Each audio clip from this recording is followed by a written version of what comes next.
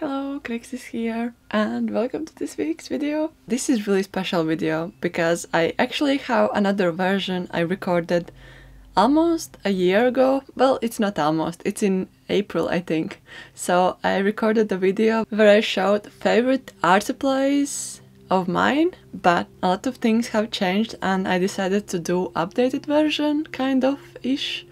And this is like video of my favorite art supplies, but also just art supplies I tend to use the most, my most used art supplies. Um, because there are some art supplies I really like, but I don't use them that much. So I will just mainly share what I'm using and what I like. So at the same time. So grab yourself a drink. Any drink will be fine. Um, I'm drinking black tea I really, really, really love black tea. Um, write in the comments which is your favorite tea. And yeah, let's enjoy the video. I think I'm gonna start with gouache. So, I have like this basket which I crocheted myself some years ago and it's full of gouache. Um, I bought it not like in one go, so it's not like I just decided to buy like 60 different tubes of gouache. But uh, yeah, my favorite uh, paint medium is gouache. Even though I love acrylics and I love watercolors, I must go this to gouache. I really like the properties it, it gives me. Oh, and also like, I like acrylic gouache the best. Um, I don't use designer's gouache that often. I have two brands. One of the brands is called Holbein, Holbein Acrylic Gouache, and another one is called Turner Acrylic Gouache. They both are from Japan. Um, it depends where you live. Some some places uh, Holbein is cheaper, in some places Turner is cheaper. I like them both. I mix them both together. Uh, I also use like this um, Japanese color um, series from Turner. It's a little bit with like this gritty texture, sandy texture. Um, I like it as well. I don't mind mixing with uh, normal acrylic gouache. Yeah, I I have been coloring these uh, tops of gouache. I think I did it already like in previous video a year ago. But it keeps me organized and I can like easily pick which color I need. So I found this is like perfect storage space for it. I got some in auction on eBay. I like to buy some used art supplies as well, um, especially in good quality because they tend to be quite expensive. I bought also some bigger tubes to mix my own colors and I have some favorites of them. Well, it's it's hard to choose favorites, but um, I guess like colors I use the most. It's uh, still Turner pastel enamel color. It's super super small amount left in here. I love this color a lot. I also like my favorite Holbein gouache color is misty blue. I will this is like this is the my liquid uh, happiness paint tube. I don't know if that makes sense, but I love this color a lot. I, I already ran out of the first one, this is my second one. I I could buy like this in like big paint cans and use it throughout my whole years till till I'm like super old. So I will always I think love this color. It's super universal. Um, then there are like some few honorable mentions. I really like this Turner pastel olive color. I just really like this particular muted green, warm green shade. Uh, so I just love how it looks. And also I love this uh, yellow green from Japanese series. It's it's super thin. There is almost nothing inside left, so I just love this kind of green color. There are still like a lot of I, I love ash green and all the ash colors and misty colors so it's just really hard to choose. Um, there is one acrylic color which is in, in this basket and it's from Liquitex. Uh, this is heavy body acrylic paint in parchment color. I just really, really love this parchment color. So it's here. I I am mixing it with acrylic gouache. Nothing wrong happened yet. I used it in my picture book, which I was working on for last like five months. So this was really good color for me. Um, but yeah, this is my gouache basket.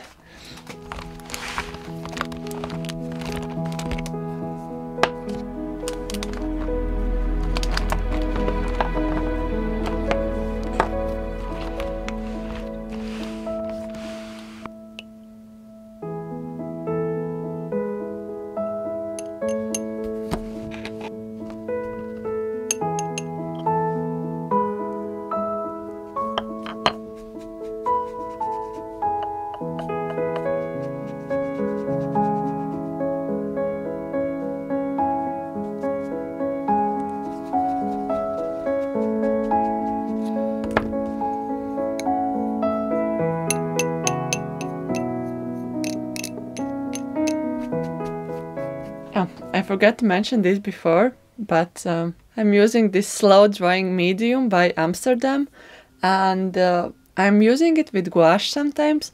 I also discovered it in last year. I think one of you commented in my post to, you, to try use medium together with gouache and this is great to making paints more transparent so I can layer them in several layers. So this is the only medium I'm currently using. We'll see, maybe I will experiment with them in the future, but for now, this is great way to make paint transparent and so it dries longer than it's supposed to dry. Okay, so if you've been following my journey for the last couple of months, you know that I really love Molotow markers. These are acrylic paint markers. Although I'm using different kind of brands for acrylic paint markers. This is my favorite brand. And one of the reasons is that you can refill them. And I am having, I think, 10 of these small bottle refills. I could buy like bigger tubes. I, I'm not sure if I will want to invest that much, but maybe in the future I will have bigger sizes. And I just love these colors. This, it was hard to choose, but this is like my top five. So so yeah, like natural white, lobster, yellow ochre, Amazonas light and Lago blue pastel. Uh, these are my top top five. But I love I love almost all of the colors. They have some bright colors, but uh, I'm really into neutrals. So these are, I think, for all the brands, these are the most interesting shades they have as well. Um, but I I am using different brands and for Liquitex my two favorites are parchment color and, and bleached titanium. So these are the colors I use a lot as well. Um, one thing I don't like about Liquitex nibs is sometimes I'm breaking them because if I'm pressing too hard um, the nibs are quite soft so they can tear apart. So it happened to like four or three markers of mine. So yeah, there are pros and cons to this one, and sometimes they're not opaque; they're a little bit transparent. Um, but I still use them. So and also from Posca, these are my most used colors. One is beige. I use it for light skin tones, and other one is light orange, and I use it for cheekbones. That is like the only purpose of this color. just for cheekbones. Yeah, speaking of mixing colors, I like to mix my own colors. Uh, and throughout the last year, I was getting into mixing my own color shades from acrylic paint markers because there were still colors I wanted to have and they weren't, they didn't exist. So I created my own colors. I think in this year I will still make more of colors. So if you're interested to seeing more color mixing videos with Molotow paint markers, let me know in the comments down below. So yeah, these are the some colors I pre-mixed. This is like um, my second used medium, I would say. I am using it alone and mixing together with gouache, with other mediums.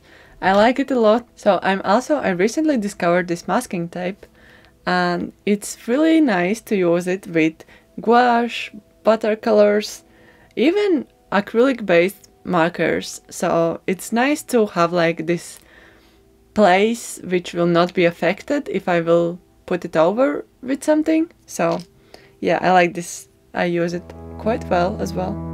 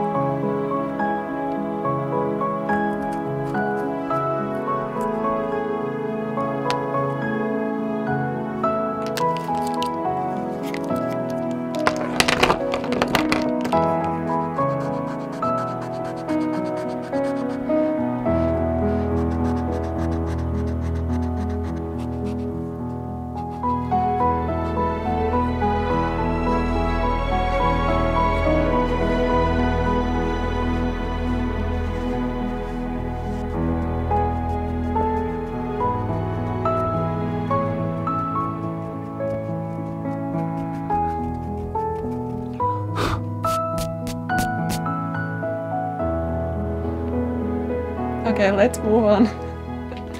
so I have a lot of pencils. I am currently having some that are displayed for me to easy to reach. So in like some baskets. And these are like colors I tend to use the most. And I'm also having uh, like this huge pencil case with other colors. I don't use that much, but uh, they're here so some brighter tones, maybe some shades I don't like that much. So all the colors I'm using, I'm storing them in different way. Um, it's hard to choose like my favorite brand. I am using a lot of different brands. I think like if I had to choose like one set or brand, I really like Derwent drawing pencils. Uh, I got these ones in 2018. Um, as you can see, it's like a lot of them are super small because I've been using them a lot. Uh, I have been repurchasing some of them. Um, I think it's like the best muted set out there in the market. Um, I like them a lot. So if I had to choose, but in general, I'm having like these uh, different storage places for them. And what I'm putting is uh, so I have several yellow ochre colors. I have this container where I'm storing my ivory slash uh, super light pastel yellow colors. Also some super muted light greens, some middle tone greens and some darker greens. So this is like this storage. I'm storing all my browns in this lovely William Morris cup, which I accidentally broke. I'm storing some blues in here and some greys in another William Morris mug, mug cup. I don't know. um, I think like if I had to choose my top three, not per se like favorite colors, but colors I use the most, I use Ginger Root a lot uh, by Prismacolor. I got spares from Natasha Newton, thank you. But yeah, I love this color a lot. It's by far most used, but also one of the favorite ones. I'm also using this um, Cloud Blue by Derwent Colorsoft. Uh, yeah, it's quite small as well, no? and uh, this is so funny. So I, I, there's one color called uh, Salmon Pink from Holbein Pencils, and I'm only using this for cheekbones and for nose. but I use it every single time almost. So this is like my cheek slash nose color. I really like using pencils to add like texture on top of my illustrations, especially like if I'm combining gouache color and on top I'm adding quite similar color but adding like this extra like cherry on top.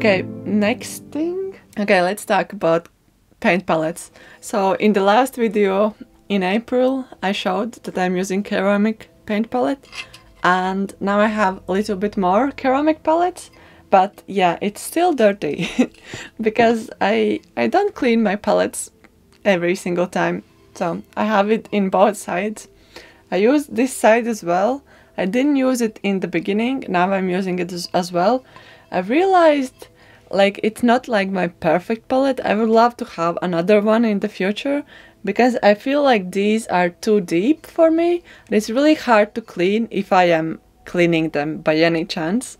Uh, so I would love to have a little bit bigger and with less depth into these ones.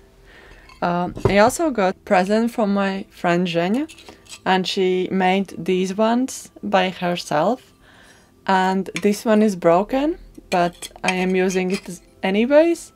So yeah these are really lovely. And I'm using them a little bit chaotically.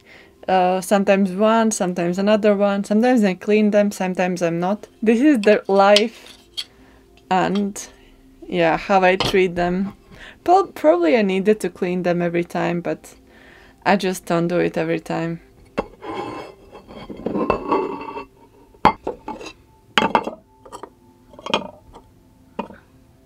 So a big part of my illustration process is uh, using these mechanical pencils for sketching. Um, in the last video I showed that I'm using some pencils with uh, wooden cores. Um, not anymore. I'm using this thicker mechanical pencil which is really nice. I really like it. It's um, I think it's a 2B pencil or something like that. And then I'm using 0.5 millimeter another pencil. I use them before final illustrations. I sketch everything with them and sometimes to add extra details and uh, line work I'm adding them on top as well. I'm also using this mechanical eraser from brand Deli. Uh, so this is also one of the used ones. And I'm also using just simple erasers. I think this is from Tombow brand, but anything that I have in my rather I'm just grabbing it. so yeah, these are the tools that are really important to me. I wasn't like mechanical pencil kind of person, but now I couldn't imagine living without mechanical pencils. So I really, really appreciate these ones in my life.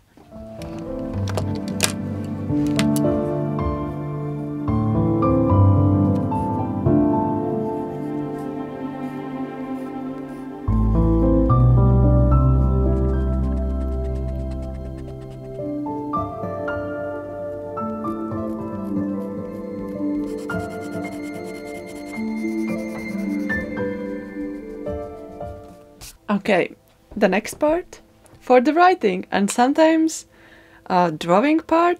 This is something I I got only recently, like two months ago. Uh, so I don't know how it will go throughout this year, but so far I'm loving them. I am using fountain pens and I have two fountain pens now. I don't know how I didn't buy more than two, which is really great and interesting. But I have two different brands. I wanted to try them out and see which one I like the best.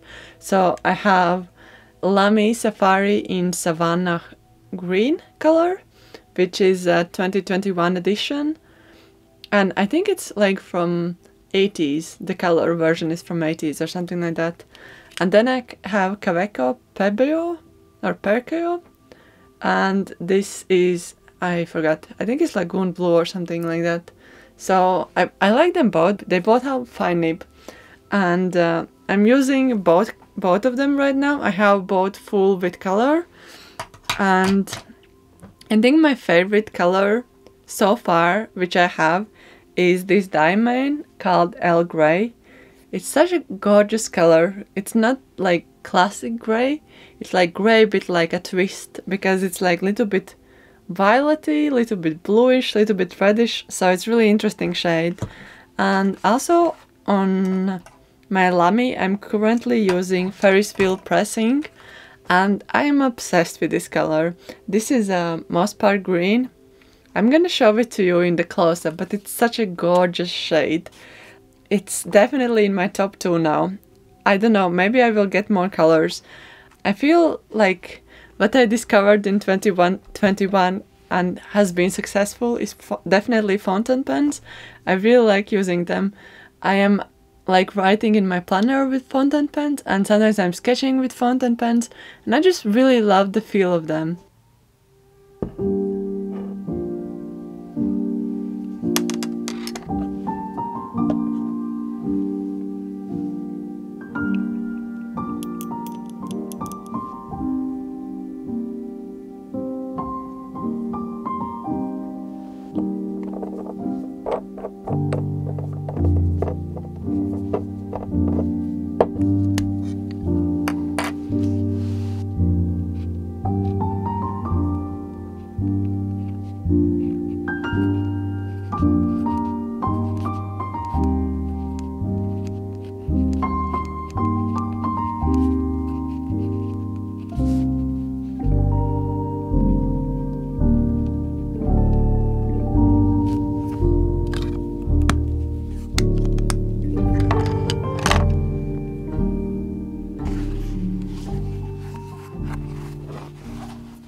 Okay, so pencil sharpeners. I'm still using the same box from last year.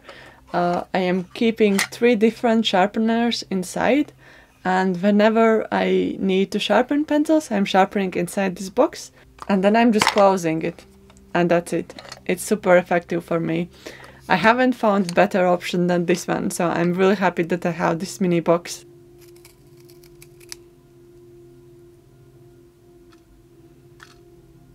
For the brushes, I still love short brushes. I think my favorites still are Princeton Select brushes. I just really love them. I like Da Vinci brand as well, so nothing changed there that much. Okay, so if I'm traveling, I am using this Tombow traveling pouch. I like this pouch because there are several compartments for markers or brushes or fountain pens and I can just store them inside like that.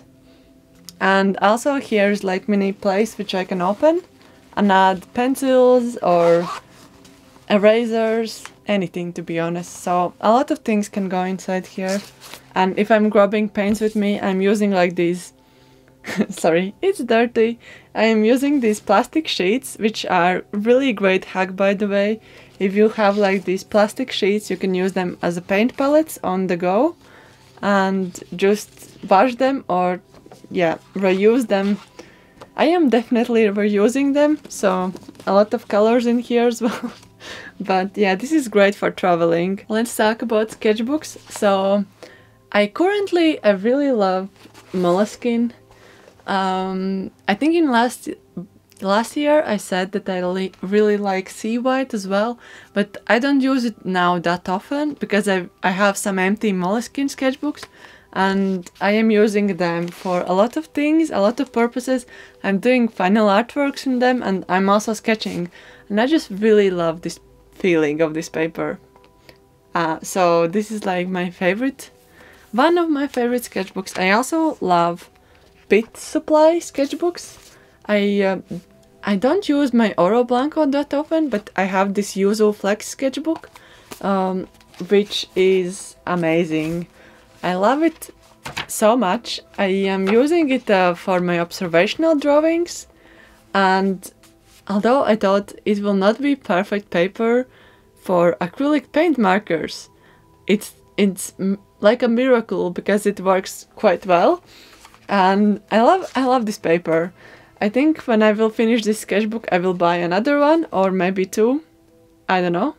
But I really like this uh, Pith supply and I also like the the idea they are having behind their business. So and it's UK business so I want to support local businesses as well. So these two are my favorites for now.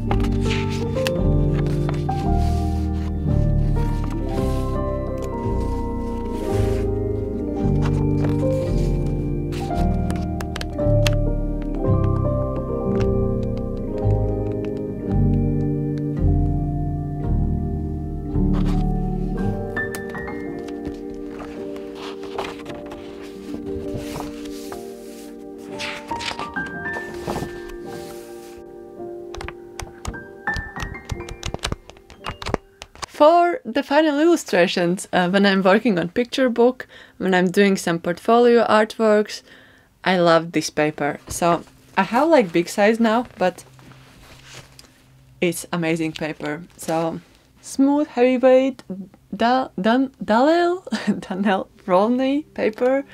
Um, I I love this paper. It's perfect for my needs because I don't use a lot of watercolors. It's perfect for gouache perfect for acrylic markers, for acrylic, uh, perfect for pencils. It's just everything I need. so it's really amazing. I had this paper in A3 before. I ran out of it and I decided to buy A2 size papers so I can cut them myself. It was a little bit cheaper that way, so I didn't mind. I have also guillotine, so I didn't mind to cut it here. About the color book. I think last year I showed I'm using this uh, swatching color book a lot. I had like a lot of swatches there and everything like that. I'm still looking sometimes to it. Uh, I also have like separate sheets of paper for different swatches. I have them a lot. I maybe should organize it a little bit better. Uh, I started like new color book which is bigger size and I thought to have it like as a color diary uh, for my studio. I didn't feel it properly, but I started doing like my gouache collection and I did also acrylic marker collection some time ago. So we'll see if I will have time to do it. But this was like my my idea. I, I really like swatching, so um, I have loved swatching art supplies for a long time.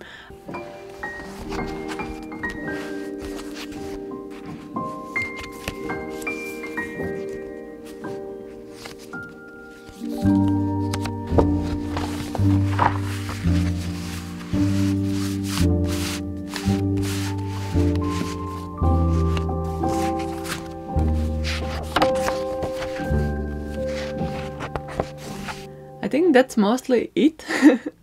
um, I hope you enjoyed watching my favorite art supplies of 2022 updated version. If you did, please leave a thumbs up. If you are new here, um, hello. you can subscribe to my channel uh, to see more videos and follow my journey. Thank you so much for watching this video. Have a good day, evening, morning, wherever you are, and I will see you next time. Okay, bye. Bye.